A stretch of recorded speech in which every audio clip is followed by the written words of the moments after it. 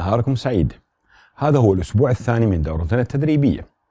لقد استعرضنا في الأسبوع الماضي لكل الأقسام والفروع المختلفة التي يمكن للمرء دراستها في ألمانيا. في هذا الأسبوع سيتم مرة أخرى استعراض أهم المصطلحات الأساسية.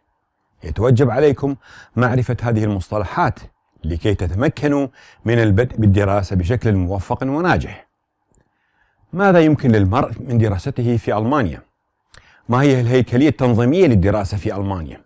وكيف تسير الدراسة في ألمانيا؟ سيقوم زملائي بشرح وتوضيح كل هذه الأمور لكم في دروس هذا الأسبوع